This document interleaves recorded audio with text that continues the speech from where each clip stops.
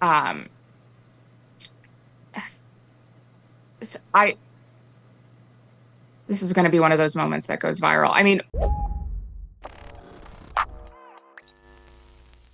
Those of us on the left have been saying for months now that the word woke basically has no meaning at this point. Most right wingers essentially call anything that they don't like woke, but there is one person who, of all conservatives, should be able to define that word. It's homeschooling advocate and right wing author Bethany Mandel, who literally wrote a book about how woke radicals are indoctrinating your children, but as you're going to see, she also can't define woke much like her right wing peers. And the boys over at the Vanguard stumbled upon an amazing moment from Rising where she was asked by Briahna Joy Gray to define wokeness, but as they explain, her attempt to define a term she wrote a book about breaks her brain, and that is literally the most accurate description for any video ever. Enjoy. Americans consider themselves very liberal and probably fewer of them consider themselves to be woke. And so, you know, when when what, we talk about traditional right, could, could, would you mind defining woke? Because it's come up a couple times, and I just want to make sure we're on the same page. So, I mean, woke is sort of the idea that um, I this is going to be one of those moments that goes viral. I mean, woke is something that's very hard to define, and we've spent an entire chapter defining it.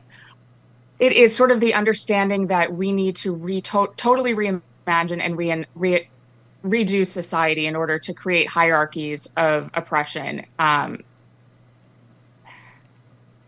sorry, I it's it's hard to explain in a 15 second soundbite. Well, yeah, look, it, time. That moment at the end there, where Briahna tells her, "You could take your time."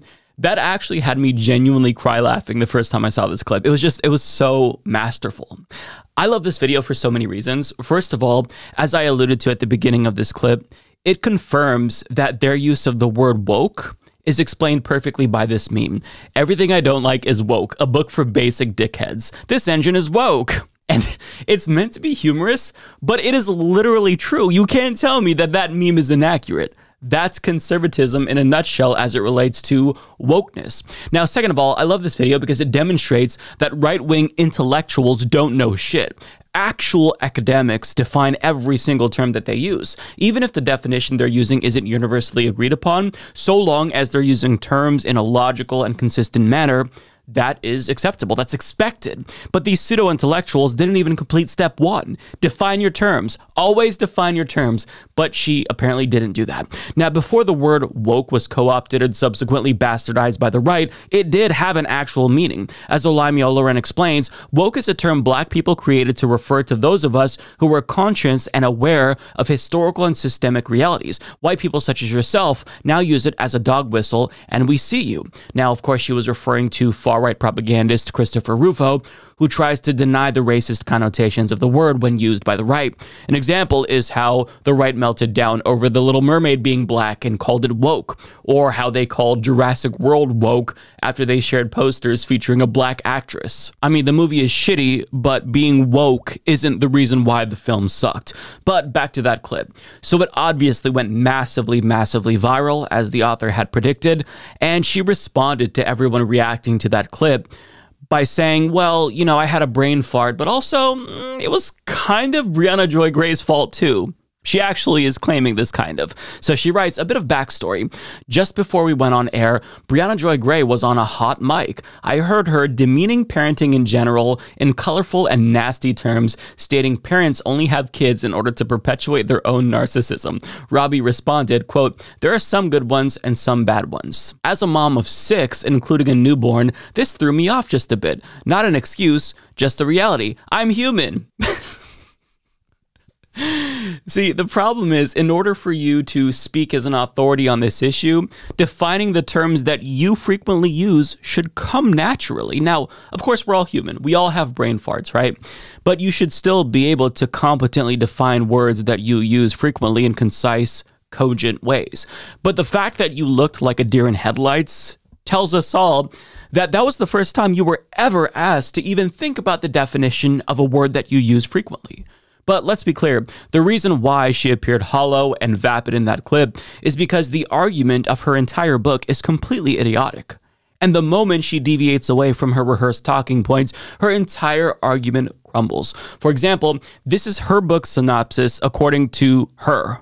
The crux of the argument of the book is that there is sort of a woke reimagining of our society, and it's happening in a lot of different ways in a lot of different areas of our of our lives. And there's been a lot of attention, justifiably, on corporations, um, in uh, in media, but there hasn't been a lot of focus, if any, on sort of the the youngest generation. And so Karol and I wanted to talk a lot about, um, you know, how this sort of interferes with childhood as as it's happening in America right now. Uh, there there's a lot of chatter about what's happening on college campuses, but not enough about children.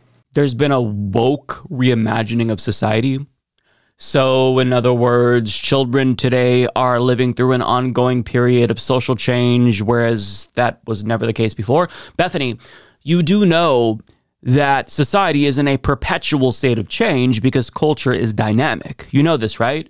Racist parents screeched about the end of segregation in the same way that you're probably screeching about kids having trans teachers. This is not a new phenomenon. The core reactionary impulse by people like you has not changed.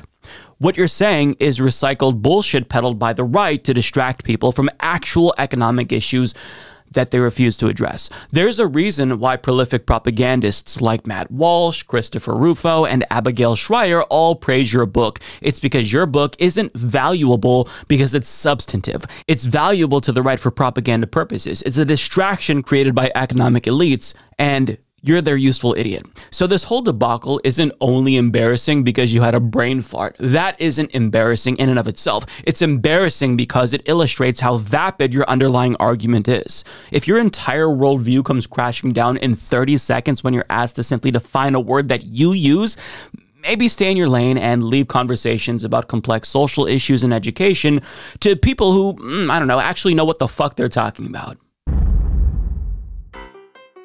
Up yours, up yours, up yours. Sons of bitches, bitches, bitches. Woke moralism, woke moralism, woke moralism. I dreamed I saw my maternal grandmother. She was stroking herself absent-mindedly. I let her have her way. The genital region was exposed. I let her have her way.